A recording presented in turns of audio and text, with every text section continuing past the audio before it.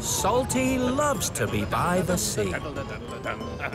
But when he first came to the island of Sodor, Sir Topham Hatt sent him to work at Farquhar Quarry. All he could see around him was stone. Stone, stone, stone. Salty didn't like it much. Hello, Salty. Oh, I'm a dockside diesel, Mavis. I need to be by the sea. When Sir Topham Hatt told Salty he had a new job for him at Brendam Docks, it made him very happy indeed. Don't take me away from the sea, boys. Don't take me away from the sea. One day, Salty sounded a little more spluttery than usual. What's with all the noises, Salty? Are you all right? Huh? Uh, all shipshape and seaworthy, Cranky. Yeah, uh, must be a barnacle trapped in the exhaust.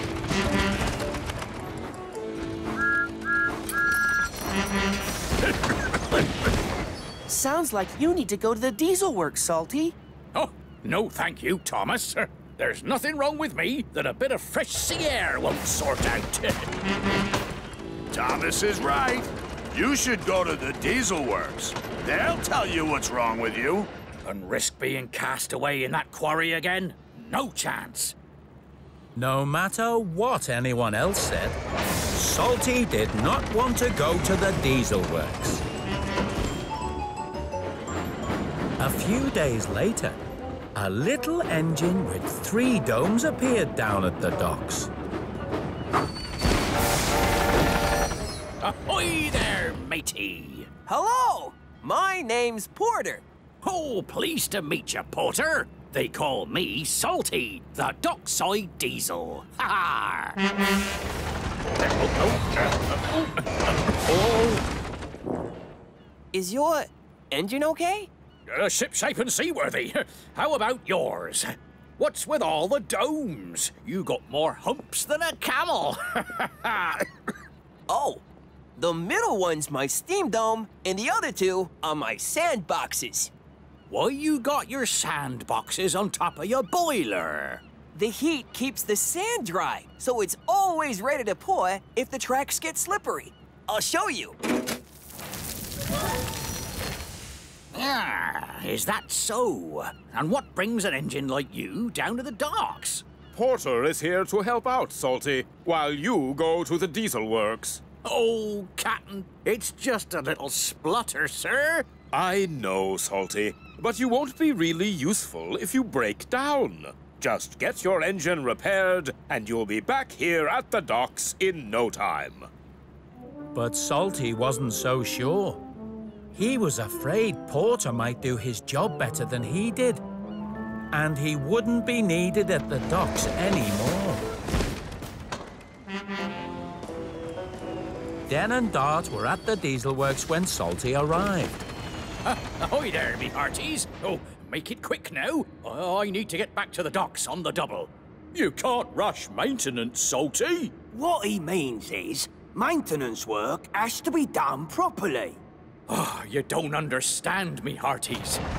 There's a new engine at the docks, and if I don't get back quick sharp, he'll have my job, and the captain'll send me back to work in the quarry.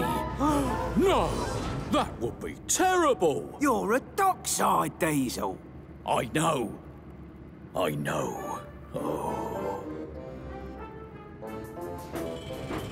Back at the docks, Porter was proving himself to be a very hard-working engine. He was learning fast. Which shed is for timber again? Where do you want the oil cars? How many flatbeds do you need? Cranky didn't like answering questions all the time. But he could tell that Porter was going to be really useful to have at the docks.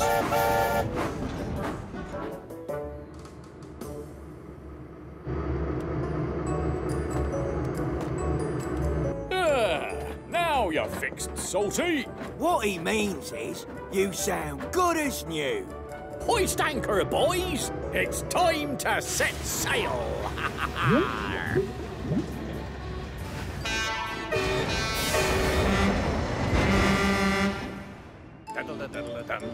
Don't take me away from the sea!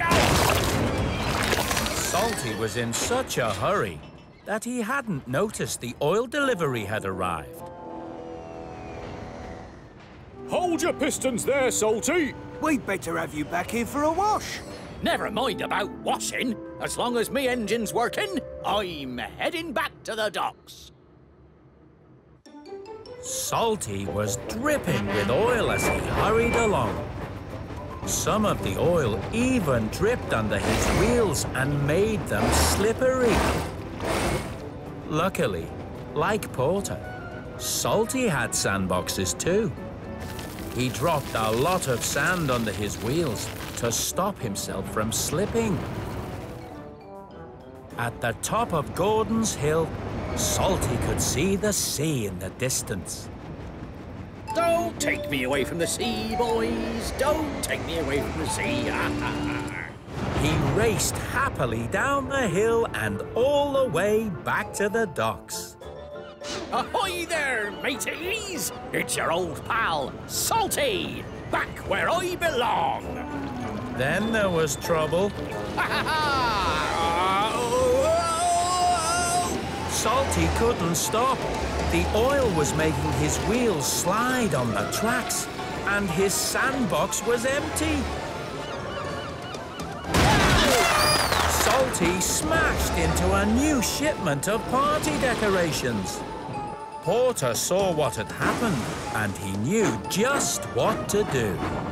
Weigh anchor, laddie!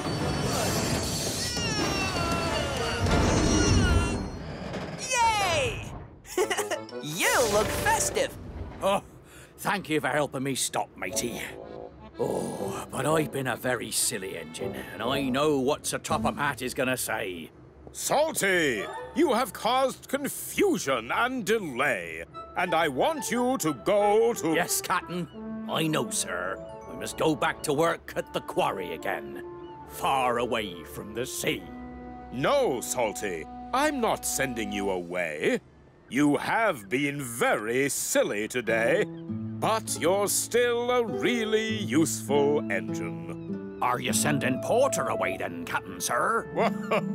I'm not sending anyone away, Salty. You and Porter are meant to work together. I just want you to go for a wash. Oh! yes, Captain. Right away, Captain. So while Salty got cleaned up again, Porter used his sandboxes to put down sand on the oily rails so they wouldn't be slippery. Salty liked Porter and he enjoyed working with him, but most of all, Salty mm-hmm. was just happy to be able to stay in his favorite place, at the docks. Don't take me away from the sea, boys. Don't take me away from the sea.